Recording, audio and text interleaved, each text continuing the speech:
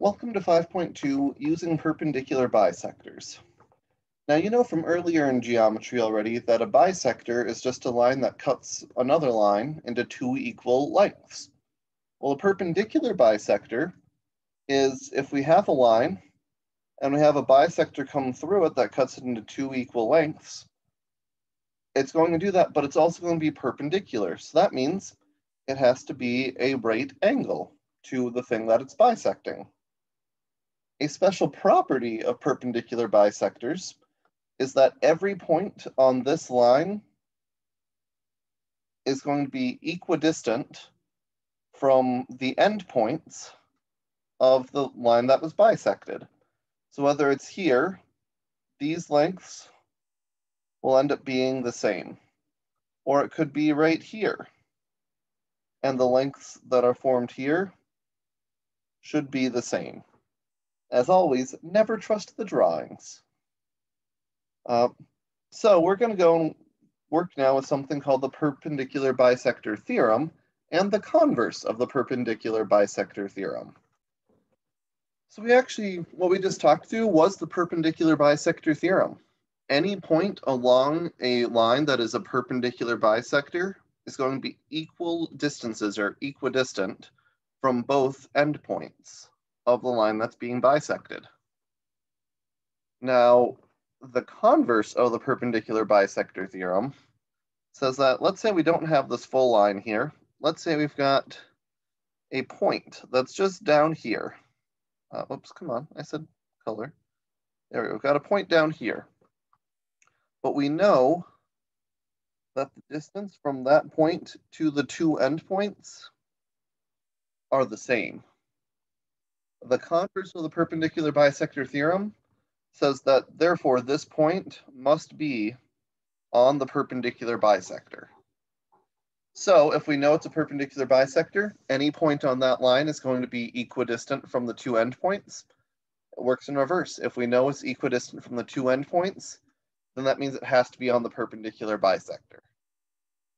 So let's try some problems with this. So BD is the perpendicular bisector of AC. We need to find AD.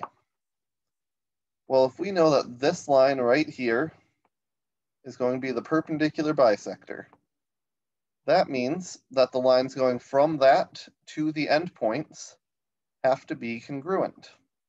Or in other words, the length 3x plus 14 has to equal 5x. Well, we can solve this now. Subtract the 3x from both sides. Get a 14 equals 2x. Divide by 2. x has to equal 7. And that's all the more there is to that one. We can also do it with one that looks more like this. Um, so we know in this case that WX is the perpendicular bisector of YZ. And we want to know which segment lengths are the same length. Well, we can see that YV is going to be the same length as VZ, because they were both labeled as being 25 units long. We know it's a perpendicular bisector, so YX has to be the same length as XZ. And uh, we can see that point W is on the perpendicular bisector, so that means YW has to be the same length as WZ. We have three different segment lengths that are equal. That's exciting. Now the question, is V on line WX? Well, it has to be, because if WX is the perpendicular bisector, and V is the same distance away as from Y as it is from Z, yes, it has to therefore be on the perpendicular bisector. Now we're going to go and talk about something else called concurrency. And concurrency is just when you have multiple lines that are all intersecting at the same point. They are all concurrent at that point. So they call it concurrency. So if we are going to go and look at the concurrency of our various perpendicular bisectors within a triangle, that means we're going to take our perpendicular bisectors from the triangle and we're going to draw them so that they come out and are nice and even. There we go. And in this case, they all intersected right here. So now we're actually going to talk about a theorem that goes along with this. So what we know about perpendicular bisectors is every point on those lines is the same distance away from the endpoints. Well, that means if all three of these lines are intersecting at the same place, that means that point is going to be the same distance away from all three vertices. Because each of our perpendicular bisectors is the same distance away from two other vertices. So once we do it for all three, that means this point has to be the same distance away from B as it is from C, as it is from A. And that's going to be the concurrency of, per of perpendicular bisectors theorem. Uh, let me just quickly double check. Um, yeah, so if we have this point that is concurrent from all of them, all three of these lengths have to be the same. And that would be our theorem. Now, a good use of this theorem. Got an ice cream distributor, and they distribute to three different stores. Where should the distributor be located to minimize the transportation cost? Well, it should be right in between all the stores that distributes to, where it will be an equal distance to all the different stores. So if we go and we draw a line from A to C, we find the midpoint. Oh, no, that's going to be more about the midpoint. Uh, and we make our perpendicular bisector. Well, we can do the same thing again with C to B.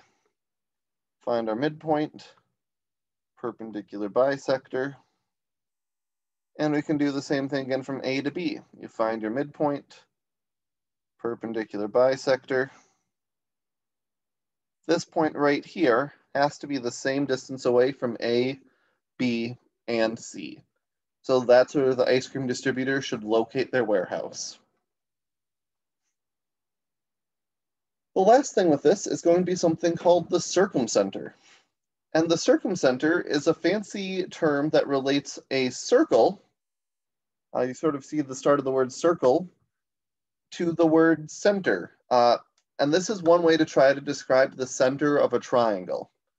We're actually, over the next few sections, going to work with a number of different centers of a triangle. Uh, and the circumcenter just happens to be the first one.